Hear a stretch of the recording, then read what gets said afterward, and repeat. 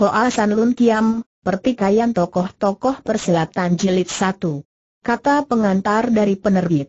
Hoa San Lun Kiam, Pertikaian Tokoh-Tokoh Persilatan. Karya, Shin Lung. Diceritakan oleh, Sin Leong.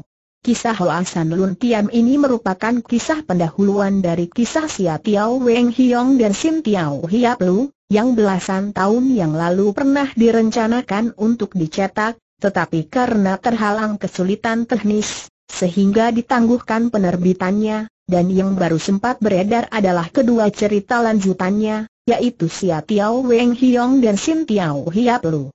Sebagai pendahuluan dari kedua cerita yang kami sebutkan di atas tadi, maka di dalam kisah Hoasan Lun Kiam ini para pembaca akan bertemu dengan tokoh-tokoh seperti Ong Tiong, Yang, Oaye Yoksu, Ang Chit Kong, Yang Hang dan Teng Tai Su. Di dalam kisah Hoasan Lun Kiam ini, semuanya masih kanak-kanak sampai akhirnya menjadi jago dengan memiliki kepandaian yang sangat tinggi, dan terjadilah pertemuan-pertemuan di antara kelima tokoh persilatan itu di atas puncak Hoasan. Pertemuan-pertemuan inilah yang diberi nama Hoasan Lun Kiam. Pengalaman-pengalaman para tokoh-tokoh persilatan itu sangat aneh dan luar biasa, mari kita mengikuti kisahnya. Kami yakin, kisah ini tentu akan memberikan kepuasan kepada Anda, karena di dalam Hoa San Lun Kiam dikisahkan bagaimana Toan Cheng, akhirnya menjadi Iteng Taisu, mengalami berbagai persoalan yang aneh dan pengalaman-pengalaman yang sangat seru, sehingga akhirnya Toan Cheng meninggalkan takhta kerajaannya. Begitu juga pengalaman-pengalaman keempat tokoh persilatan lainnya seperti Ong Tiong, Yang, Oaye Yoksu, Yang Hang dan Ang Chit Kong, masing-masing memiliki pengalamannya sendiri-sendiri yang serba aneh. Baru sekarang kisah pendahuluan Sia Tiao Weng Hiong dan Sim Tiao Hiap Lu dapat kami tampilkan keharibaan para pembaca. Kisah Hoasan Lun Tiam ini adalah karya Shin Yung dan disadur oleh Sin Leong, diterbitkan oleh penerbit, untuk perhatian harapan pesat Jakarta pada 23.07.1975. Selamat membaca. Jakarta, 23.07.1975 penerbit, untuk perhatian harapan pesat Jakarta. Bagian 01, Angto di jalan raya yang menghubungkan Jalan Cingan dengan Jalan Kebutong, tampak Berlari-lari seorang anak lelaki kecil berusia 8 tahun, sambil berlari-lari begitu, mulutnya tidak hentinya mengoceh seperti bernyanyi. Plak, plak, plak, kudaku lari keras sekali, gagah dengan pedang, berani menghadapi maut, siapa yang menghadang, ditabraknya dengan segera. Plak, plak, plak, kudaku warna bulunya merah, larinya keras jika tengah marah, meraung keras dengan gagah. Siapa berani menentangnya? Terus juga anak lelaki itu berlari-lari dengan mulut mengoceh tidak hentinya seperti itu, dia berlari dengan membawa sikap seperti tengah menunggangi seekor kuda, tubuhnya digentak-gentakan. Tetapi waktu dia melihat seorang anak lelaki sebaya dengannya sedang bermain kelereng, dan seorang anak lelaki lainnya berusia di antara 10 tahun tengah berjongkok untuk menyentil kelerengnya, anak lelaki ini telah menghampirinya. Tahu-tahu tangan kanannya digerakkan, waktu telah berada dekat dengan kedua orang anak itu, dia telah menjitak kepala anak yang berusia di antara 10 tahun, cukup keras jitakannya itu, sampai memperdengarkan suara tak, sedangkan anak yang seorangnya lagi waktu melihat munculnya anak lelaki yang nakal itu, telah ketakutan dan memutar tubuh bermaksud melarikan diri, tetapi anak lelaki itu telah mengejarnya dan mengayunkan tangannya, tak kepala anak itu juga telah dijitaknya lagi. Serahkan semua kelereng kalian kata anak lelaki yang nakal ini. Kedua anak itu tampaknya takut terhadap anak yang nakal itu, mereka telah memberikan sebagian dari kelereng mereka. Jangan diambil semua, Angtoa, si tua angkata anak yang berusia 10 tahun itu dengan muka meringis menahan takut. Angtoa, anak lelaki yang nakal itu, telah mendelikan matanya, tangan kanannya dengan ringan telah bergerak lagi menjitak kepala anak berusia 10 tahun itu. Kepalamu mau bengkak kujitaki terus bentak Ang Toa sambil mengulurkan tangannya seperti meminta dengan paksa kelereng kedua anak itu. Kedua anak tersebut yang memang rupanya jeri berurusan dengan Ang Toa, telah menyerahkan lagi sebagian kelereng mereka, sehingga sebutir pun mereka tidak memilikinya lagi. Setelah menerima semua kelereng itu, tampak Ang Toa telah berlari-lari lagi, tangan kanan dan tangan kirinya menepuk-nepuk sakunya, sehingga terdengar kerenggak, kerenggak suara terbenturnya tangan dengan kelereng yang berada di dalam sakunya, dan sambil berlari-lari begitu, dia juga telah bernyanyi-nyanyi tiada hentinya dengan lagunya yang cukup jenaka itu. Plak, plak, plak, kudaku lari keras sekali, gagah dengan pedang, berani menghadapi maut, siapa yang menghadang, ditabraknya dengan segera. Plak, Plak, plak, kudaku warna bulunya merah, larinya keras jika tengah marah, meraung keras dengan gagah. Siapa berani menentangnya, sikap Ang Toa tampak jenaka, walaupun usianya masih kecil, namun justru yang mengherankan dia dipanggil namanya Ang Toa, situasi Ang di antara sifat-sifatnya yang jenaka, tampak keberandalannya yang agak lumayan, sehingga anak lelaki berusia lebih besar dari dia saja takut berurusan dengan Ang Toa, yang namanya telah tua tetapi orangnya masih kecil seperti itu. Setelah berlari-lari beberapa tikungan, dia melihat di pinggir emperan sebuah rumah ada tiga orang anak yang tengah bermain kelereng. Ang Toa mempercepat larinya, dia telah menghampiri rombongan anak-anak itu. Aku ikut main teriaknya sambil memukul-mukul sakunya sehingga kelereng rampasannya memperdengarkan suara berkelintingan. Ketiga anak lelaki itu telah menoleh waktu mendengar teriakan Angtoa, dan seketika mereka-mereka jadi pucat.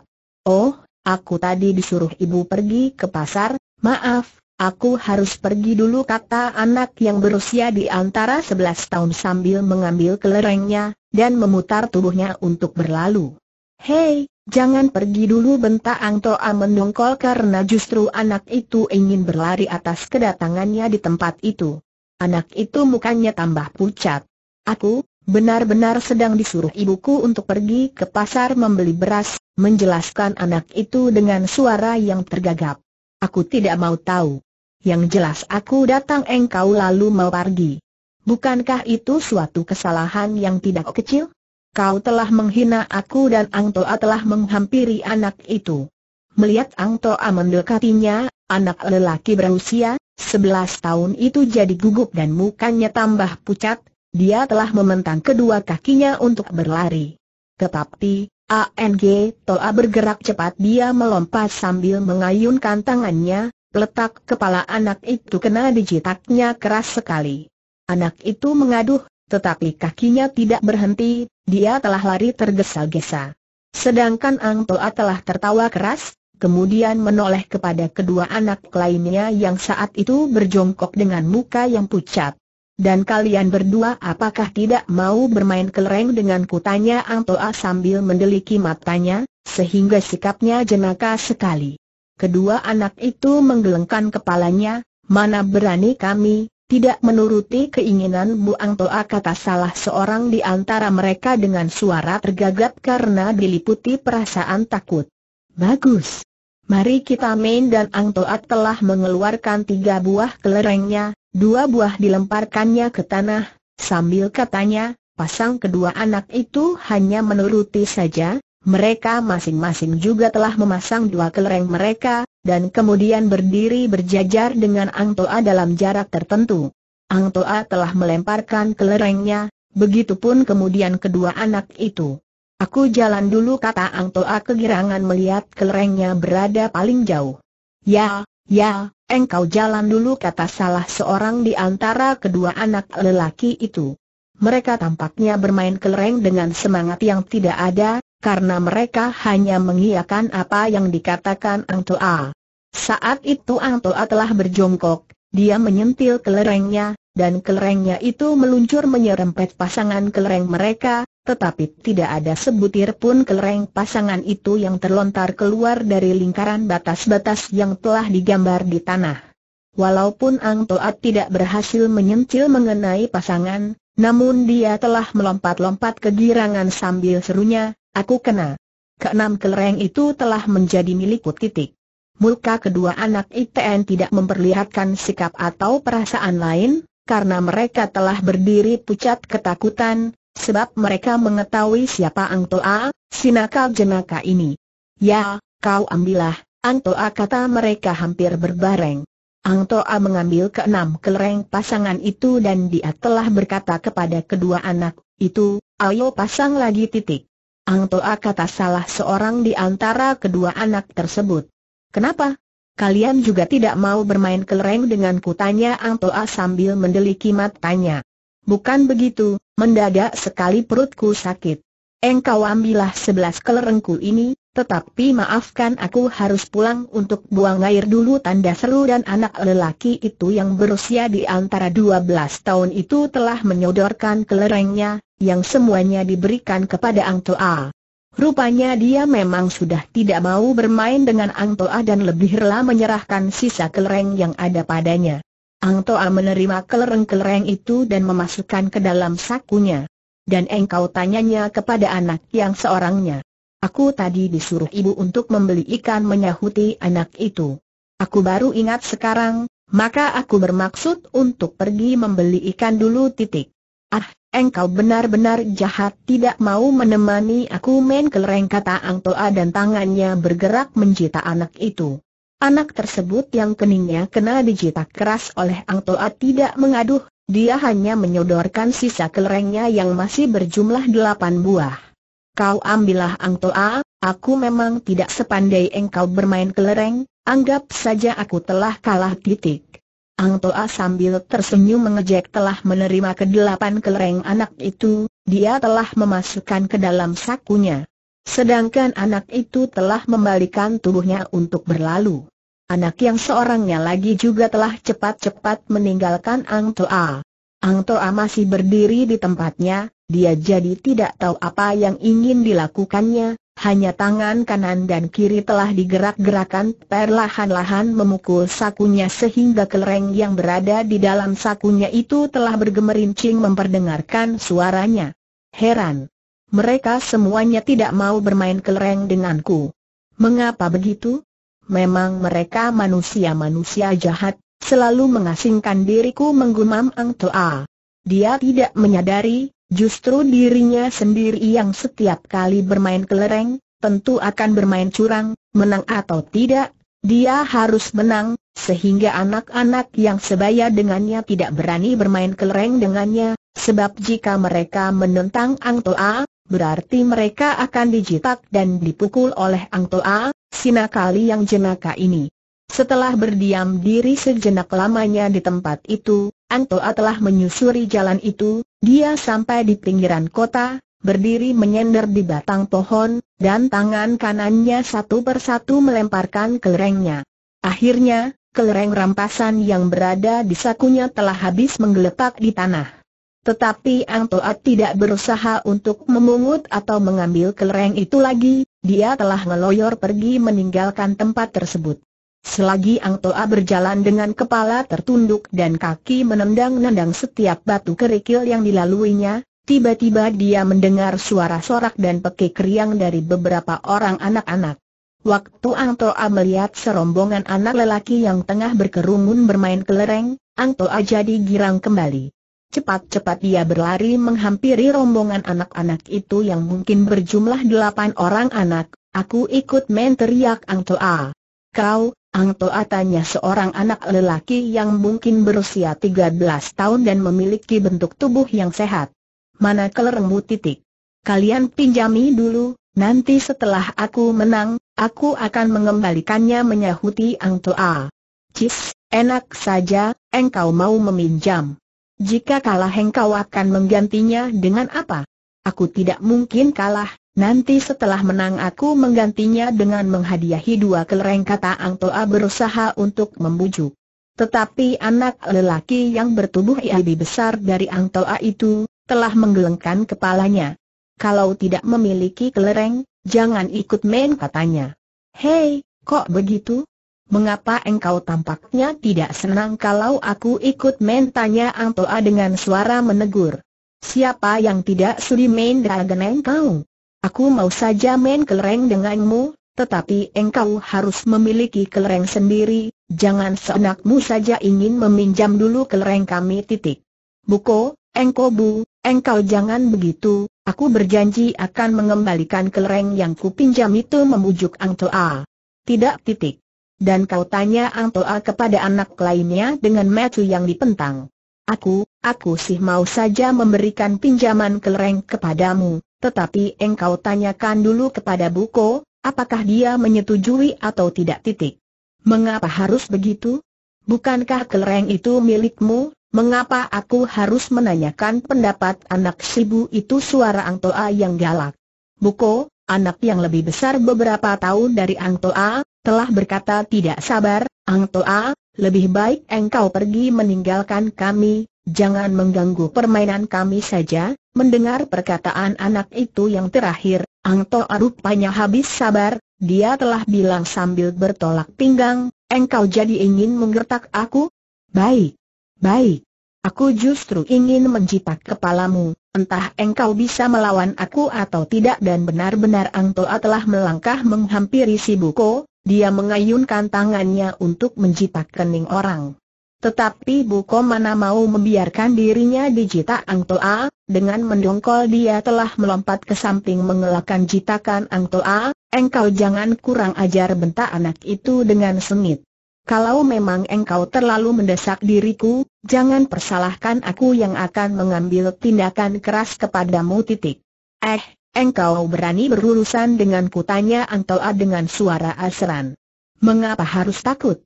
Jika memang engkau keterlaluan, tentu siapa pun juga berani berurusan denganmu menyahuti buko dengan suara tidak kalah gertak. Tetapi Angto rupanya mendongkol bercampur marah, dia telah mendekati buko. Dia harus kutundukkan, jika tidak tentu anak-anak lain berani kurang ajar padaku tanda seru pikir Ang Toa di dalam hatinya. Karena berpikir begitu, dia telah menggerakkan tangannya untuk mencitak kepala Buko. Tetapi karena memang lebih besar beberapa tahun dari Ang Toa, di samping dia juga memiliki badan yang cukup besar, Buko tidak takut terhadap citakan yang dilakukan Ang Toa, bahkan setelah berkelit menghindarkan diri, Tahu-tahu kepalan tangannya telah melayang hinggap di hidung Ang Toa, sampai Ang Toa terjungkel di atas tanah. Matanya berkunang-kunang, tetapi cepat sekali Ang Toa telah melompat bangun, dan dia menyerudukkan kepalanya ke perut Buko. Buk si Buko itu telah diseruduk keras sekali perutnya oleh kepala Ang Toa, dia sampai menjerit kesakitan dan telah terjengkang rubuh. Tetapi Ang Toa benar-benar nakal sekali, dia telah merangkul Buko, dan menggigit telinga lawannya itu. Keruan saja anak itu jadi menjerit-jerit kesakitan dan berusaha meronta, tetapi Ang Toa tetap menggigit telinga lawannya dengan kuat sekali. Ampun tidak? Berani kurang ajar lagi kepadaku atau tidak tanya Ang Toa melepaskan gigitannya sebentar, dan kemudian menggigit lagi telinga Buko. Saking kesakitan Buko sampai menangis dia telah berteriak-teriak meminta ampun. Setelah puas cukup lama menggigit telinga lawannya, Antoa telah melompat bangun, dia mengawasi Buko yang tengah menangis sambil memegangi telinganya yang merah bekas digigit Antoa. Kalau suatu saat nanti engkau berani banyak lagak lagi di hadapanku, akan kugigit putus telingamu itu ancam Antoa dengan sikap yang bangga, karena dia telah berhasil mengalahkan lawan yang lebih besar dari dia, dan membuat lawannya menangis. Akan kuberitahukan ayahku kata Buko sambil menangis dan berdiri untuk berlalu. Allah, engkau memang besar mulut saja kata Angtoa sambil mencitak kening Buko. Buko tidak berani melawannya lagi, dia telah berlari-lari meninggalkan tempat itu. Anak-anak lainnya yang menyaksikan jago mereka kena dirubuhkan Angtoa, telah berdiri dengan muka yang pucat pasti ketakutan. Sekarang kalian berani bertingkah lagi atau tidak di hadapanku bentak Ang Toa kepada anak-anak itu. Tidak. Tidak. Tadi memang Buko keterlaluan sekali, dia telah menganjurkan kami agar tidak mau menemani engkau bermain kelereng, hem, orang seperti dia memang harus dihajar, agar kelak tidak besar mulut saja. punya badan yang tinggi besar, tetapi nyalinya sebesar nyali tikus anak-anak yang tengah ketakutan itu memaksakan diri untuk tertawa, padahal hati mereka juga tengah berdenyut-denyut ngeri, karena takut dijitak oleh Ang Toa. Ayo, siapa yang mau meminjamkan kelerengnya kepada kutanya Ang Toa kemudian dengan suara yang nyaring. Aku titik. Aku mau meminjamikan kata anak yang lain. Ini Ang Toa, kelerengku saja engkau mainkan. Aku memang bermaksud pulang makan dulu kata anak yang lainnya sambil mengangsurkan semua kelereng miliknya kepada Ang Toa. Ang Toa menggelengkan kepalanya dengan mata mendelik besar. Kalian benar-benar kurang ajar sekali kata Ang Toa sambil mendeliki matanya. Mengapa setiap kali aku mau bermain kelereng, kalian selalu saja ada alasan ini dan itu saja. Aku tahu, kalian semuanya berdusta, Kalian hanya takut bermain kelereng denganku dan mempergunakan berbagai care untuk dapat menyingkirkan diri mana berani kami memiliki pikiran seperti itu kata salah seorang anak itu cepat. Kami sejak dulu dan sampai sekarang, selalu akan mematuhi setiap perkataanmu Ang Toa. Bukankah kini engkau telah menjadi pemimpin kami semua dengan keberanian dan kepandaian yang engkau miliki itu bangga Ang Toa mendengar pujian seperti itu, dia telah mengambil kelereng dari anak yang katanya ingin pulang dulu untuk makan. Mulailah Ang Toa bermain dengan beberapa orang anak-anak itu, tetapi seorang pun di antara anak-anak itu tidak boleh mengenai sasaran kelerengnya pada pasangan, jika menang sentilannya mengena juga, maka dengan sengit Ang Toa mengayunkan tangannya menjitak kepala anak yang menang itu. Tetapi jika Ang Toa sendiri, kena atau tidak, dia selalu berteriak dan menang, dan diambilnya semua pasangan itu. Namun lawan-lawan bermainnya itu tidak seorang pun yang berani membantahnya. Di saat itu saku Ang Toa telah penuh dengan kelereng. Sedangkan anak-anak itu bermain tanpa bersemangat karena mereka tahu jika menang akan dijitak, lebih baik mereka pura-pura kalah dan setiap kali menyentil kelerengnya selalu mereka memiringkan arahnya tidak kepada pasangannya. Akhirnya semua kelereng dari anak-anak itu, yang seluruhnya hampir berjumlah seratus butir, telah berpindah ke saku Angtoa. Seorang demi seorang, yang telah habis kelerengnya, menyatakan ingin pulang guna mengambil kelereng lagi, tetapi sesungguhnya mereka semuanya ingin cepat-cepat dapat melepaskan diri dari Ang Toa, yang galak dan main jita itu.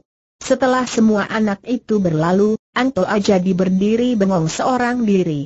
Kelereng di sakunya banyak dan berat, dia mengetuk-ngetuk sakunya beberapa kali, kemudian menggumam seorang diri, aku mau ke mana lagi dia mencari-cari memandang sekitarnya, dia ingin mencari anak-anak lainnya. Tetapi di sekitar tempat itu tidak terlihat anak-anak lagi, OODWKZ tahu, mereka semuanya seperti memusuhkan diriku? Mengapa? Mengapa begitu tanya Angtoa dengan perlahan, seperti juga dia heran. Tetapi sesungguhnya, sebab utama anak-anak itu tidak mau bermain terlalu lama dengan Angtoa, akibat sifat si Angtoa itu yang main jitak dan main pukul jika tidak senang hatinya. Waktu itulah Ang Toa merasakan perutnya keruyukan, dia telah lapar.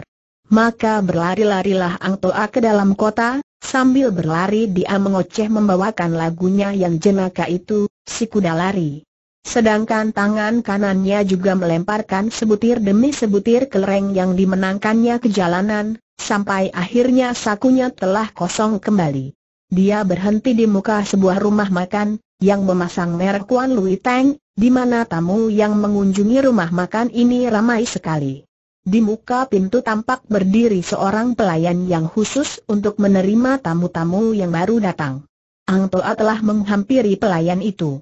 Engkau yang baik, perutku lapar sekali kata Ang Toa sambil tepuk-tepuk perutnya. Lapar tanya pelayan itu sambil menoleh. Pergi pulang, ibumu tentu telah memasakkan makanan yang lezat aku, tidak memiliki ibu kata Ang Toa sambil nyengir.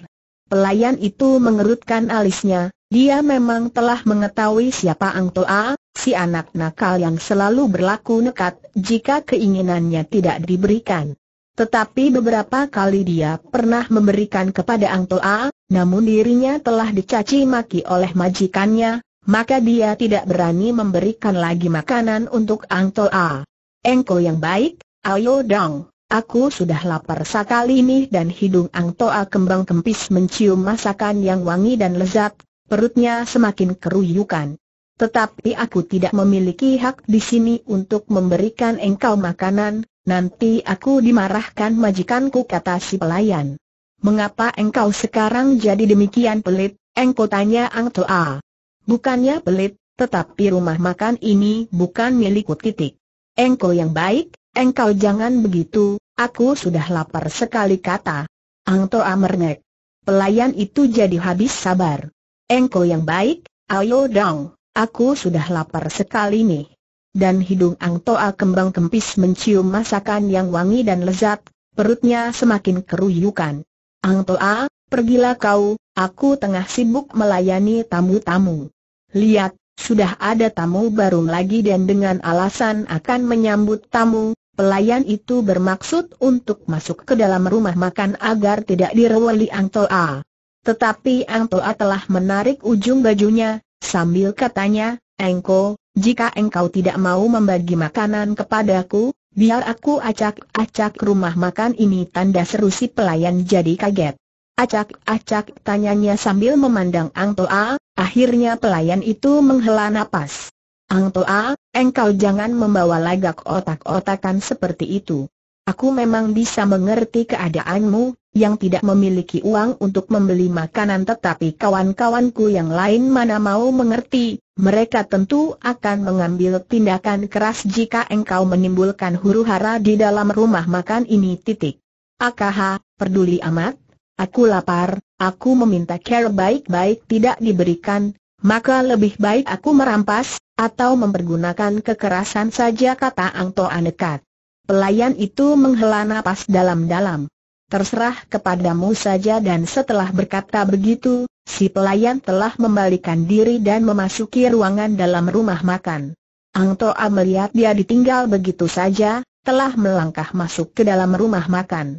Tampak para tamu yang ramai sedang makan dengan masakan yang beraneka macam dan menyiarkan bau harum yang menusuk hidung Ang Toa, membuat hidung si bocah jadi kembang kempis lagi.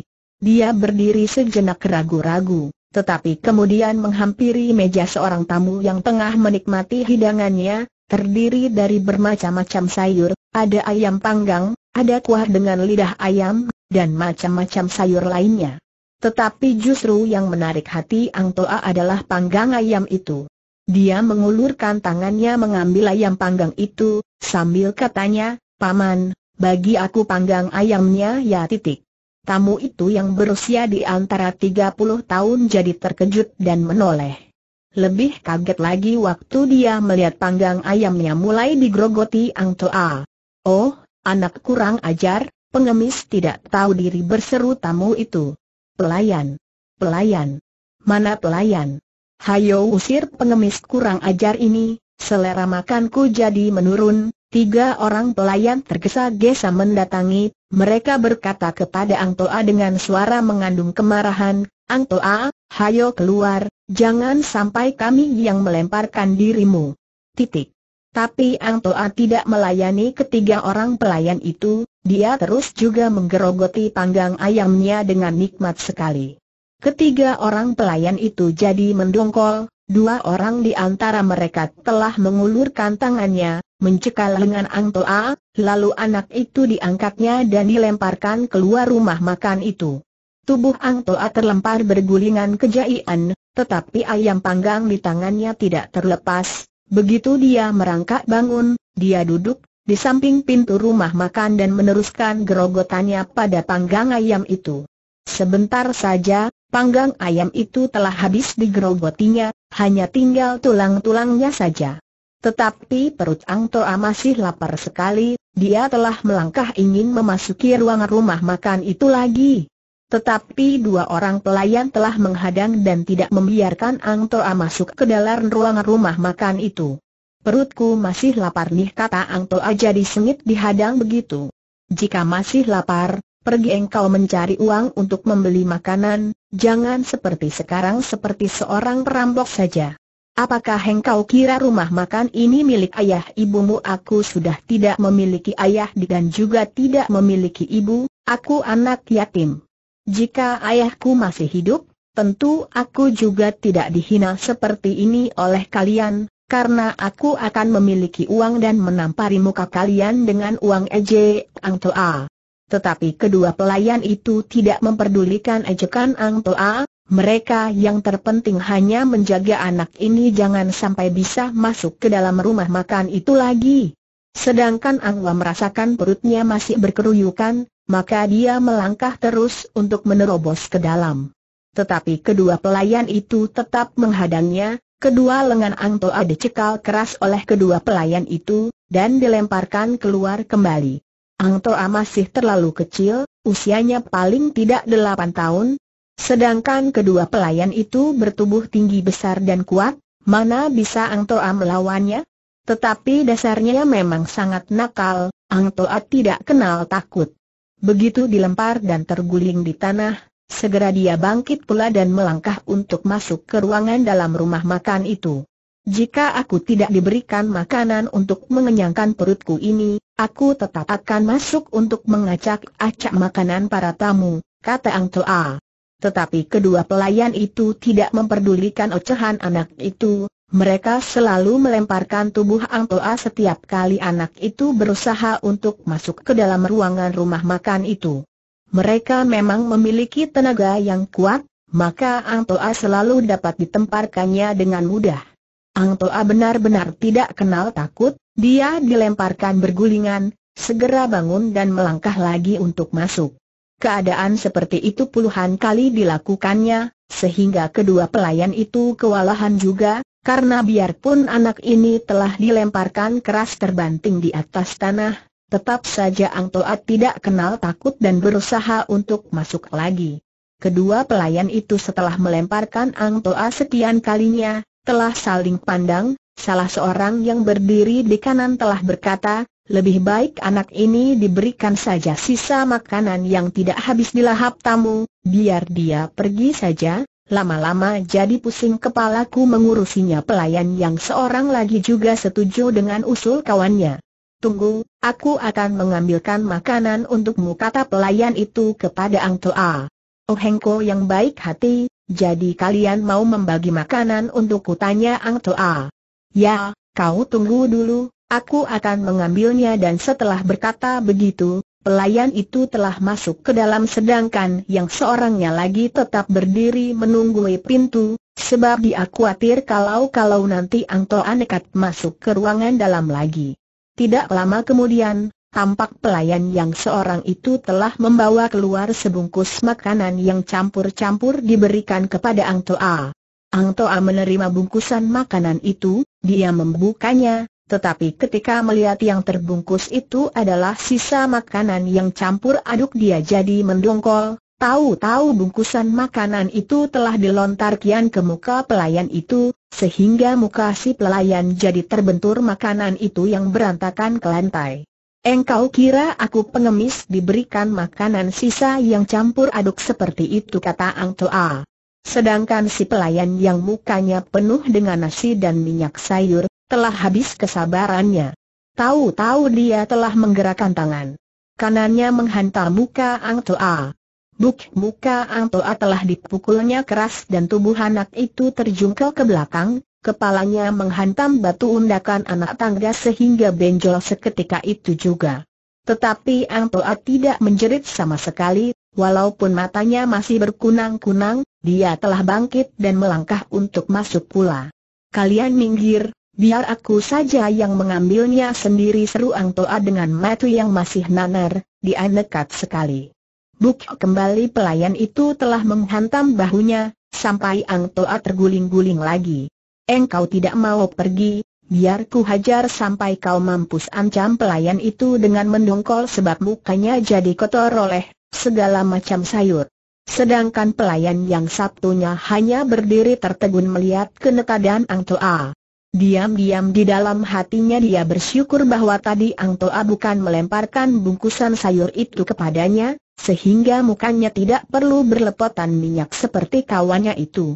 Ang Toa tidak memperdulikan ancaman si pelayan, tahu-tahu dia telah menyeruduk dengan kepalanya, sehingga pelayan itu terjungkel, dan Ang Toa dengan mempergunakan kesempatan itu telah cepat-cepat melangkah masuk.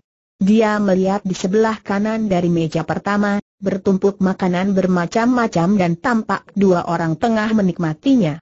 Dengan gesit Ang Toa telah menyambar sepotong ayam panggang, dan semangkok sayur kuah. Dia juga telah menyambar semangkok nasi, kemudian memutar tubuhnya untuk keluar. Sambil menggerogoti panggang ayam, Angtoa meninggalkan rumah makan itu. Kedua pelayan itu jadi berdiri bengong saja, mereka jadi takjub melihat kenakalan anak itu, yang telah dibanting, dipukul, tetapi tetap mengacak makanan tamu. Sedangkan beberapa orang pelayan di ruangan dalam telah cepat-cepat menggantikan makanan tar, nu yang tadi diambil oleh Ang Toa. Sedangkan kedua orang tamu itu hanya saling pandang, kemudian mengomel seorang diri karena sengit makanan mereka telah diambil oleh seorang anak lelaki seperti pengemis itu. Sedangkan kasir rumah makan itu telah marah-marah dan mencaci maki kedua pelayan yang dikatakannya bodoh seperti kebau, menghadapi seorang anak kecil seperti Ang Toa saja mereka tidak sanggup. Pelayan yang seorangnya, yang mukanya kena ditimpuk dengan bungkusan sayur, telah menggumam dalam hatinya dengan mendongkol, kau tidak tahu saja anak itu anak sinting, jika engkau yang menghadapinya mungkin telah muntah darah, karena mendongkol tetapi pelayan tersebut jelas tidak berani mengutarakan pikirannya itu. Dia telah ngeloyor masuk tanpa memberikan komentar apa-apa terhadap makian kasir tersebut. Ang Toa sambil menggerogoti ayam panggangnya telah menyusuri jalan itu, dia telah memakan juga kuah sayur itu dan kemudian berhenti di bawah sebatang pohon untuk memakan nasinya. Akhirnya dia merasakan perutnya telah kenyang, sambil mengusap-usap perutnya yang menjadi buncit, Ang Toa telah melemparkan mangkok nasi dan sayur kuah itu seenaknya saja, dia merebahkan dirinya di bawah pohon itu, untuk tidur. Tetapi Ang Toa belum tidur terlalu lama, tahu-tahu pinggulnya ditendang seseorang, sampai Ang Toa terbangun dengan terkejut. Anak manis, mengapa engkau tidur di jalanan seperti itu? Tanya seseorang. Ang Toa mengucek-ucek matanya, dia melihat seorang pengemis berusia lanjut, mungkin 50 tahun, tengah berdiri mengawasinya. Hei kakek pengemis kurang ajar. Mengapa engkau mengganggu tidurku? Aku tidur di sini apa halangannya denganmu, toh tidak merugikan dirimu, ditegur begitu oleh Ang Toa, pengemis tua tersebut telah tersenyum sabar. Engkau tidak pantas dalam usia demikian muda harus terlunta-lunta seperti ini. Mengapa engkau tidak pulang ke rumah orang tuamu? Aku tidak memiliki ayah dan ibumu titik. Juga aku tidak memiliki ibu. Sudah engkau jangan rewel, Kakek pengemis aku masih mengantuk ingin menyambung tidurku dan setelah berkata begitu, Antoa telah memejamkan malanya lagi, dia telah meringkuk untuk mereruskan tidurnya. Tetapi pengemis tua itu sambil tersenyum telah mengayunkan kakinya lagi menendang pinggul Angtoa, sampai Angtoa melompat saking sengitnya. Mengapa engkau masih terus menggangguku tegurnya dengan suara mendongkol. Aku bukan bermaksud mengganggumu, tetapi aku masih ingin menyampaikan pertanyaan kepadamu. Pertanyaan apa? Titik tanya Ang Toa tambah sengit.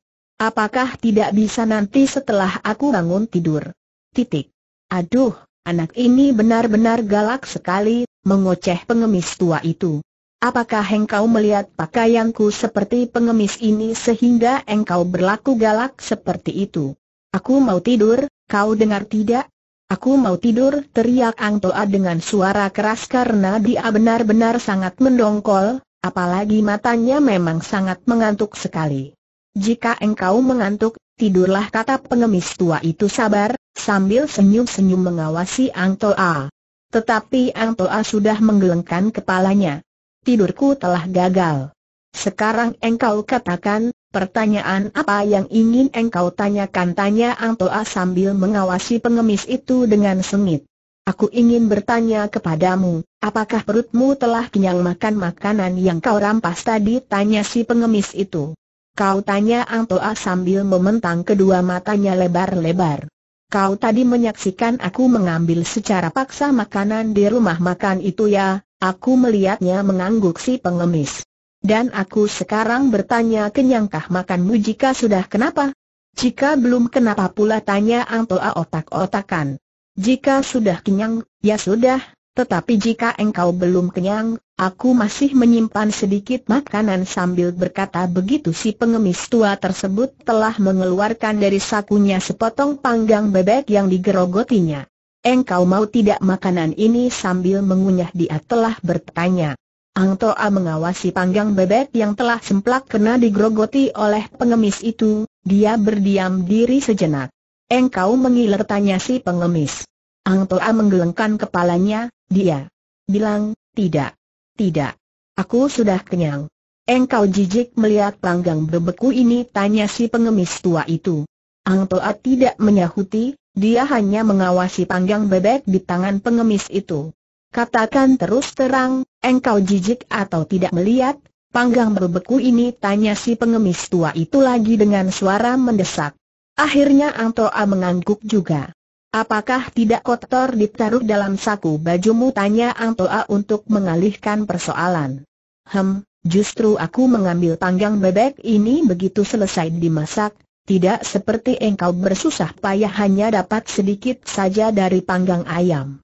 Itu pun harus dibanting-banting dulu dirimu, dan engkau juga kena dipukul beberapa kali titik. Muka Ang Toa jadi merah. Engkau mengambil sendiri, Aku juga mengambil sendiri makanan yang ku kehendaki sahut Ang Toa tidak mau kalah.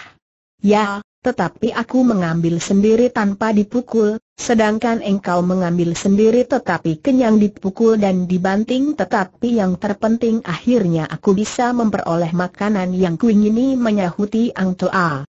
Lagi pula aku masih kecil, sedangkan engkau telah tua, tentu saja aku tidak memiliki tenaga untuk menghadapi pelayan-pelayan itu mendengar perkataan.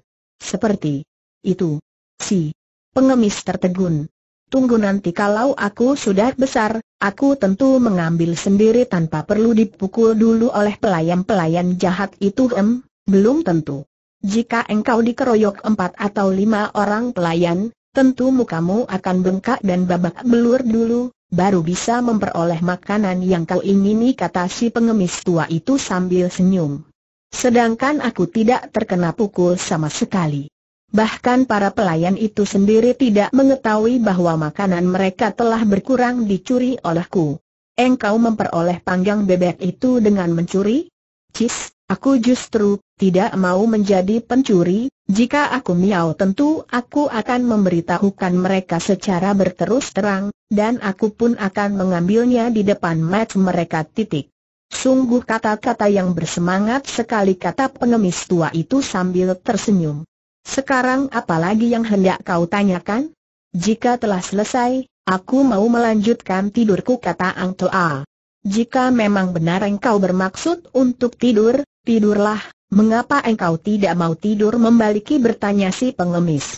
Hem, tentu saja aku tidak bisa tidur karena digoda oleh engkau terus-menerus mendengar perkataan itu, si pengemis tua itu pun telah tersenyum sambil duduk di balik batang pohon yang satunya. Eh, engkau juga mau tidur di situ tanya Angtoa agak kaget. Benar. Kenapa? Pohon ini bukan milikmu kata si pengemis itu. Tetapi, tetapi, Angtoa tidak bisa meneruskan perkataannya, dia hanya memgawasi si pengemis dengan sorot mata yang tajam, seperti juga anak itu tengah memikirkan sesuatu. Kenapa tetapi tetapian begitu tanya si pengemis lagi. Jika aku tidur di sini bersama-sama dengan engkau, nanti orang-orang mengira, mengira aku ini, menduga engkau pengemis juga tanya si pengemis tua itu memutusi perkataan Ang Toa. Ang Toa telah berubah mukanya menjadi merah, karena isi hatinya telah diterka tepat sekali oleh pengemis tua tersebut. Benar sahutnya kemudian. Jika memang engkau ingin tidur di situ, biarlah aku pindah ke tempat lain lagi titik. Hem, si pengemis telah tertawa dingin, dia bilang, dengan engkau tidur di bawah pohon ini, dan pakaianmu yang kotor itu, sudah jelas orang akan menduga engkau sebagai pengemis kecilang toa tertegun, dan di dalam hatinya dia mengakui kebenaran perkataan pengemis tua itu. Tetapi yang jelas aku bukan pengemis kata Angtoa kemudian. Biarpun engkau berkata begitu seribu kali, tetapi dengan keadaanmu yang mesum seperti itu dan lagakmu yang elakan, tentu engkau akan dianggap sebagai pengemis. Aku berani bertaruh, bahwa engkau bukan manusia yang mudah menerima tuduhan orang, tetapi kepada siapa saja engkau bertanya, tentu mereka pertama-tama akan menduga engkau sebagai pengemis titik. Ang Toa merasakan dia tidak mungkin menang bicara dengan pengemis tua itu, dia telah membalikan tubuhnya, maksudnya untuk meninggalkan pengemis tua itu. Tunggu dulu, engkau jangan pergi dulu kata si pengemis. Ang Toa jadi menahan kakinya, dia telah bilang, apalagi yang engkau hendak katakan, aku ingin mengajak engkau untuk menjadi sahabatku. Jangan takut, soal makan, Aku yang jamin engkau tidak akan lapar lagi Ang Toa jadi berdiri mematung. Dia mengawasi pengemis tua itu, dan pakaiannya yang penuh tambalan. Tetapi akhirnya Ang Toa berpikir di dalam hatinya, lebih baik aku bersahabat dengan dia, bukankah aku tidak mempunyai ayah ibu lagi dan juga tidak memiliki rumah? Memang benar apa yang dikatakan pengemis tua itu, jika dia mau menjamin makanan untukku, apa salahnya, setelah berpikir begitu, Antoa berkata ragu-ragu. Tetapi aku tidak mau jika diberikan makanan sisa, oh tentu saja tidak. Aku akan mengambilnya langsung dari dapur setiap rumah makan. Engkau tentu akan merasakan, betapa nikmat menjadi sahabatku baiklah, aku mau bersahabat dengan kau kata Angtoa sambil menganggukkan kepalanya. Si pengemis tua itu tampaknya jadi girang, dia sampai melompat bangun. Nih kau terima dulu bebek panggang katanya sambil merogoh sakunya, dia telah mengeluarkan bebek panggang yang bulat, dan masih mengeluarkan asap yang cukup hangat. Angto aja diheran, ragu-ragu dia mengulurkan tangannya dan dia merasakan bebek panggang itu masih hangat, maka dia percaya perkataan si pengemis tua bahwa dia mengambil langsung dari dapur rumah makan waktu bebek panggang itu baru matang. Tanpa ragu-ragu lagi Ang Toa telah menggerogoti bebek panggang itu, dia telah mengunyah sambil bertanya, aku heran bagaimana caramu mengambil bebek panggang ini aku memiliki caraku sendiri, jika kelak engkau telah benar-benar menjadi sahabatku dan mau melakukan perjalanan bersamaku, maka aku akan mengajari engkau untuk mengambil makanan yang engkau ingini tanpa diketahui oleh orang yang empunya titik. Tetapi A telah menggelengkan kepalanya. Tadi aku mengatakan mau bersahabat denganmu, bukan berarti aku bersedia melakukan perjalanan bersama-sama dengan engkau titik. Engkau tidak tertarik untuk mempelajari ilmu mengambil makanan tanpa diketahui pemiliknya tanya pengemis tua itu. Ang Toa menggelengkan kepalanya. Sayang sekali aku tidak memiliki cita-cita untuk menjadi pencuri menyahuti Ang Toa. Bukannya maling, tetapi engkau bisa memiliki kepandaian mengambil barang makanan yang kau ingini itu tanpa diketahui yang punya, bukankah lebih enak jika dibandingkan harus dipukuli dulu baru memperoleh sudahlah, aku memang mau bersahabat dengan kau, tetapi jangan engkau memaksa aku untuk melakukan perjalanan dengan musi pengemis tua itu telah tersenyum, dia mengangguk-angguk saja. Sedangkan Ang Toa setelah selesai menggeragoti panggang bebek itu, telah bangun berdiri, katanya, terima kasih atas pemberianmu itu, mudah-mudahan nanti kita bisa bertemu lagi, pengemis tua itu tidak terlalu memaksa lagi, dia hanya mengangguk mengiyakan. Diawasinya Ang Toa yang sedapik melanakkah pergi.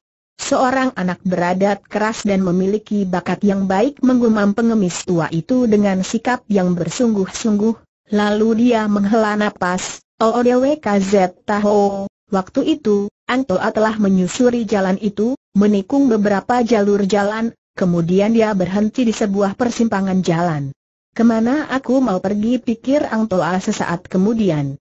Atau lebih baik aku pergi tidur di kuil tua itu saja dan setelah berpikir begitu Antoa menuju ke pintu kota sebelah barat, dia telah menghampiri sebuah kuil tua yang rusak di sana sini tidak terawat lagi. Dan Ang Toa memasuki kuil itu, lalu merebahkan tubuhnya di lantai di samping meja sembahyang yang sudah tidak terurus itu. Kali ini Ang Toa dapat tidur dengan nyenyak, karena tidak ada orang yang mengganggunya. Tetapi menjelang sore hari, Ang Toa tersadar dari tidurnya, dia mendengar suara langkah-langkah kaki kuda yang tengah berlari mendatangi ke arah kuil itu. Ang Toa menggeliat dan kemudian duduk, dia mendengar derap langkah kaki kuda itu berhenti dan seseorang telah memasuki kuil rusak itu. Ang Toa segera dapat melihat orang itu seorang Siu Chai, pelajar, yang berpakaian rapi sekali. Usia Siu Chai itu mungkin baru 30 tahun, dia membawa pedang di punggungnya. Siu Chai itu juga rupanya telah melihat Ang Toa, maka dia telah berkata, Hei pengemis kecil, inikah kota buah Siongkuan berapa biji matamu? Sehingga seenakmu saja memanggil aku pengemis kecil balik tanya Ang Toa tanpa menyahuti pertanyaan si Siu Chai. Hee Siu Chai itu jadi tertegun, dia jadi kaget ditegur begitu oleh Ang Toa, kemudian katanya dengan mendongkol, sudah tentu biji mataku sepasang. Apakah salah jika aku memanggilmu dengan sabutan pengemis kecil titik? Aku bukan pengemis menyauti Ang Toa dengan mendongkol. Tetapi, Pakaianmu kotor dan mesum, keadaanmu dekil sekali, bagaimana mungkin engkau tidak mengakui dirimu sebagai pengemis titik? Walaupun keadaanku kotor dan dekil, tetapi aku tidak pernah minta makan kepadamu, meuyahuti Ang Toa dengan sengit. Pelajar itu jadi tertegun lagi, tetapi kemudian dia telah tertawa keras, tertawa karena dia merasa lucu hari ini bisa bertemu dengan seorang anak lelaki kecil memiliki sifat seperti Ang Toa. Lalu panggilan apa yang sekiranya cocok untuk dirimu tanya pelajar itu kemudian.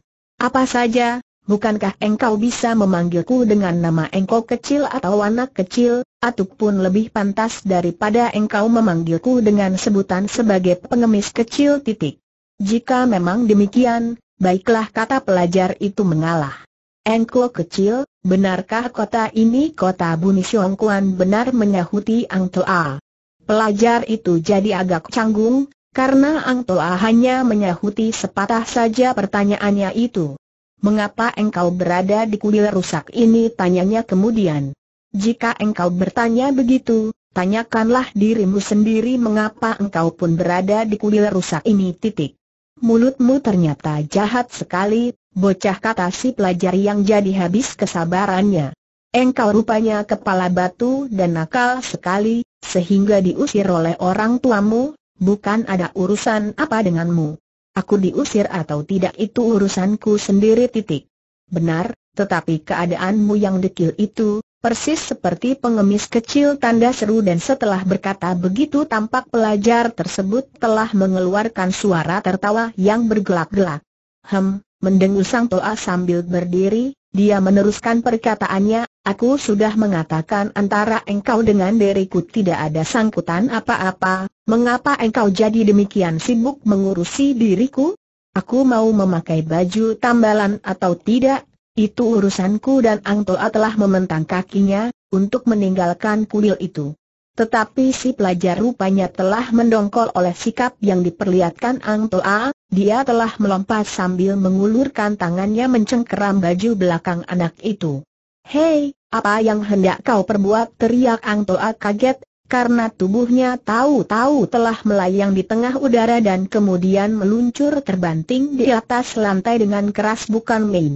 Pandangan matanya jadi gelap dan nanar, karena bantingan itu bukan seperti bantingan dan lemparan para pelayan rumah makan. Dengan teraduh-aduh memegangi pinggangnya yang sakit Ang Toa telah mengoceh, dasar pelajar tidak tahu aturan. Mengapa engkau menyakiti aku? Seperti ini titik. Pelajar itu telah mendengus, dia mengulurkan kakinya dan menendang tubuh Ang Toa, sehingga tubuh anak itu telah terpental lagi dan terbanting di atas si antai dengan keras. Kali ini Ang Toa tidak bisa segera bangkit karena di saat itu dia merasakan kepalanya gelap, hampir saja dia jatuh pingsan. Bocah kurang ajar.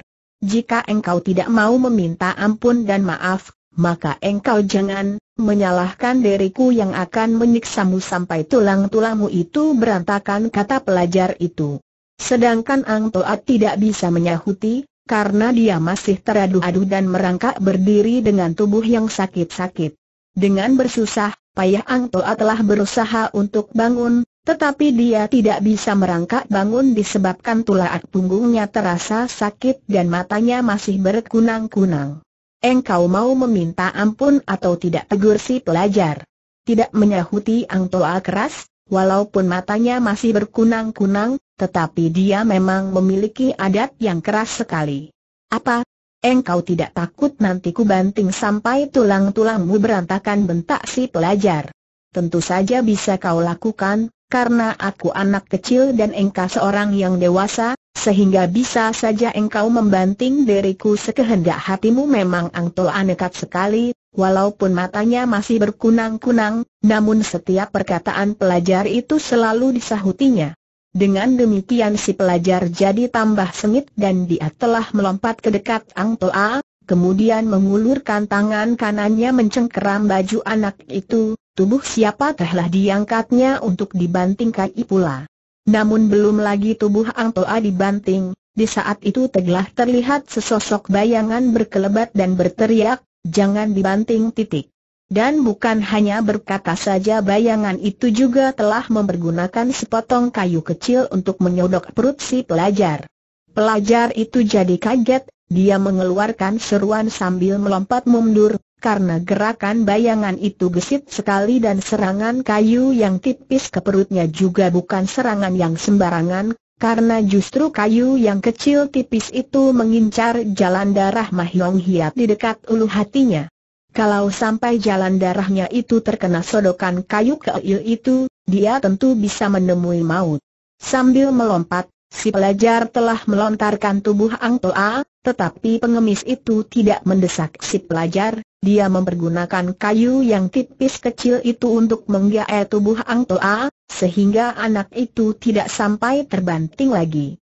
Ang Toa yang telah bisa berdiri, mementang matanya iebar-iebar, untuk girangnya dia mengenali pengemis tua yang telah mengajaknya bersahabat, itulah yang telah menolonginya. Eh, temananku panggil Ang Toa girang. Sebagai sahabat engkau telah menolongiku. Sekarang aku minta engkau pukul pantatnya pelajar sombong itu sepuluh kali. Bisakah engkau melakukannya pengemis tua itu tersenyum? Tentu saja bisa, apa susahnya sih memukuli pantat si pelajar busuk yang hanya berani anak kecil saja dan sambil berkata begitu si pengemis tua telah melompat, dengan gerakan yang cepat sekali, sehingga Ang Toat tidak bisa melihat dengan jelas. Dan yang kaget adalah si pelajar yang telah berseru. Tetapi suaranya belum lagi habis diucapkannya, tahu-tahu punggungnya telah terdorong sesuatu, sehingga dia jatuh terjerembab, walaupun kedua kakinya telah memasang kuda-kuda yang kuat mencegah tubuhnya terjerunuk, tidak urung dia terjerambab juga. Di saat itulah pinggulnya jadi sakit sekali, karena si pengemis telah memukuli pantatnya dengan mempergunakan kayu kecil tipis itu. Walaupun kecil dan tipis, tetapi kayu itu di tangan si pengemis tua seperti telah berubah menjadi sebatang baja yang kuat sekali. Si pelajar berusaha untuk meronta, tetapi kaki kanan pengemis tua itu telah menginjak pinggangnya, maka pelajar itu jadi tidak berkutik sama sekali. Cepat sekali si pengemis tua telah memukul sepuluh kali pinggul pelajar itu, kemudian dia telah melompat ke samping Ang Toa. Sahabatku, aku telah membantuimu membayar lunas penasaranmu dengan memukul dia sepuluh kali sabetan.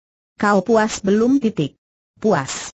Puas menyauti Ang Toa dengan sikap girang.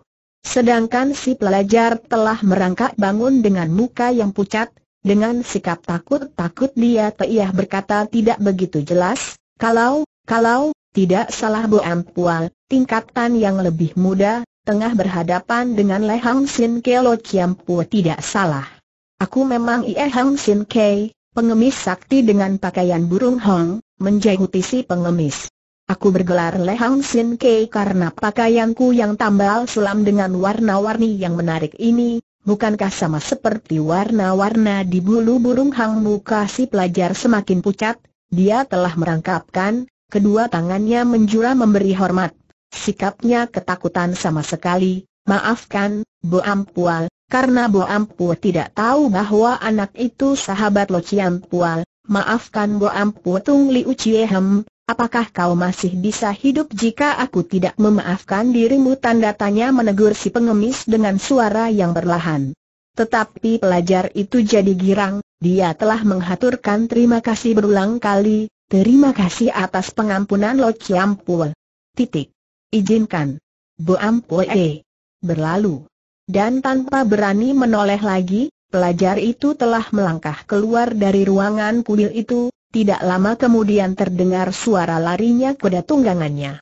Sedangkan Ang Toa jadi heran melihat sikap si pelajar yang begitu ketakutan kepada pengemis tua, sahabatku, sebenarnya siapa si hengkau ini sehingga pelajar busuk yang jahat itu ketakutan kepadamu tanya. Ang Toa kemudian sambil mengawasi si pengemis tua. Pengemis itu-itu tersenyum. Sama seperti engkau juga, sahutnya. Sama seperti aku bagaimana tanya Ang Toa tidak mengerti, bukankah engkau walaupun usiamu demikian muda belia, tetapi anak-anak yang lebih tinggi usianya darimu juga ketakutan jika melihatmu. Nah, sama seperti keadaanmu itu, pelajar itu juga akan ketakutan jika melihat aku mendengar keterangan si pengemis, Ang Toa jadi tidak bisa menahan tawanya, mengapa engkau tertawa tanya si pengemis tua Lehang Sin Ke. Aku merasa lucu, keadaan kita hampir sama, kata Ang Toa. Kau ditakuti oleh orang-orang yang telah dewasa, sedangkan aku ditakuti anak-anak sebayaku titik. Tentu saja, engkau seorang anak yang nekat dan tidak peduli akan jiwamu sendiri tiap melakukan tindakan menyahuti si pengemis tua itu. Nah, bukankah dengan mengikat tali persahabatan dengan tu engkau tidak rugi benar titik. Apalagi engkau mau, mempelajari ilmu mengambil makanan tanpa diketahui oleh pemiliknya, maka engkau lebih tidak rugi lagi kata pengemis tua itu. Walaupun nakal, tetapi Ang Toa memiliki otak yang sangat cerdas sekali. Dia telah melihat pengemis tua ini ditakuti sekali oleh pelajar itu, dan juga tadi sekali lompat saja dia telah bisa menghukum pelajar yang bernama Tung Liu Chie itu, maka Ang Toa telah menekuk kakinya, dia telah berlutut di hadapan pengemis itu. Terima kasih atas bantuan Lopeh, dan maukah Lopeh mengambil aku menjadi murid untuk mempelajari ilmu yang dimiliki Lopeh tanya Ang Toa. Oh tentu saja mau, bukankah sejak bertemu aku telah menegaskan, kalau saja engkau mau mempelajari ilmuku, tentu engkau tidak selalu menerima hinaan menyahuti Lehang Sin Ke. Tetapi untuk menjadi muridku, engkau harus mentaati beberapa persyaratan dari pintu perguruanku, apa syarat-syaratnya itu? Lopeh tanya Ang Toa. Engkau harus menjunjung tinggi nama perguruanmu, tidak boleh mendatangkan malu dengan sikap pengecutmu, walaupun menghadapi kematian, tetapi jika memang membela yang benar, engkau tidak boleh menyerah. Untuk itu aku percaya engkau bisa mentaatinya, karena aku telah menyaksikan sifat-sifatmu beberapa saat yang lalu. Yang kedua, engkau harus menuruti setiap perkataanku, tidak boleh membantah. Jika engkau membantah petunjukku, maka engkau akan menerima hukuman yang tidak ringan tentu saja jika Lopeh telah menjadi guruku, maka aku harus menuruti setiap petunjuk dan kata-kata Lopeh, mana mungkin aku berlaku kurang ajar kepada guruku kata Ang Toa. Bagus. Dan syarat ketiga, engkau tidak boleh mengandalkan kepandaianmu untuk menghina yang lemah, tidak boleh terlalu mudah membinasakan seseorang lawan, dan juga tidak boleh melakukan perbuatan-perbuatan buruk jika memang peraturan itu untuk mendidik aku menjadi anak yang baik dan tidak melakukan perbuatan-perbuatan yang buruk, tentu saja harus dipatuhi. Tetapi ada satu yang tidak bisa kupatuhi, jika memang Lopeh meminta aku menjadi pencuri makanan mendengar perkataan Ang Toa, si pengemis jadi tertawa bergelak-gelak, Soal itu kita tidak usah bicarakan sekarang, aku juga tidak memaksa engkau menjadi pencuri makanan, hanya mengambil makanan tanpa setahu yang empunya titik. Itu pun sama saja lopeh, suatu perbuatan pencuri juga kata Ang Toa. Ya, ya, nanti bila engkau telah lebih besar dari sekarang engkau bisa mengerti apa maksudku. Dan syarat satunya lagi, yaitu engkau harus menjadi anggota Kaipang, yaitu perkumpulan pengemis. Itu, itu, melihat Ang Oa ragu-ragu si pengemis telah tertawa lagi. Sebelum engkau, aku telah menerima murid lain orang, dan mereka semuanya telah masuk menjadi anggota Kaipang, menjelaskan calon guru itu. Tetapi, aku harus berpakaian sebagai pengemis setiap hari tanya Ang Toa kemudian. Benar. Engkau keberatan tentu saja, nanti semua orang memanggil aku si pengemis begitulah mengangguk Lehang Sin Ke. Memang selanjutnya semua orang akan memanggil kau sebagai pengemis. Tetapi engkau tidak boleh memiliki pikiran bahwa menjadi pengemis tidak dihormati orang, asal engkau selalu melakukan perbuatan baik, pasti hasilnya juga akan menjadi baik. Jika engkau selalu berdiri di garis keadilan, maka engkau akan disegani kawan dan lawan. Seperti tadi pemuda Tung Li Uci, dia telah menghormati dan ketakutan melihat diriku. Bukankah engkau telah menyaksikan sendiri mendengar perkataan si pengemis tua Ie Hang Sin Kei, Ang Toa telah mengangguk-angguk beberapa kali mengiyakan. Baiklah, aku bersedia untuk menjadi anggota Kai Pangkata Ang Toa, kemudian sambil menganggukkan kepalanya. Dan sekarang kita sembahyang pengangkatan guru dan murid kata Ie Hang Sin Ke mengajak Ang Toa ke dekat meja sembahyang. Dia mengeluarkan bibit api, membakar sisa lilin yang masih ada di meja sembahyang, lalu mereka menjalani peradatan untuk pengangkatan guru dan murid. Ang Toa telah berlutut di hadapan si pengemis dan berkata mengangkat sumpah jika memang aku Ang Toa berani kurang ajar dan mengkhianati perkumpulanku, Kaipang, biarlah tubuhku tidak diterima bumi dan langit dan dibacoki oleh ratusan ribu golok dan pedang bagus. Bangunlah muridku, dan untuk selanjutnya engkau harus belajar yang rajin, agar kelak dengan mempergunakan kepandaianmu engkau bisa mengangkat nama baik Kaipang. Angtoa juga telah memberi hormat sambil memanggil suhu tiga kali. Selesailah sembahyang pengangkatan guru dan murid itu.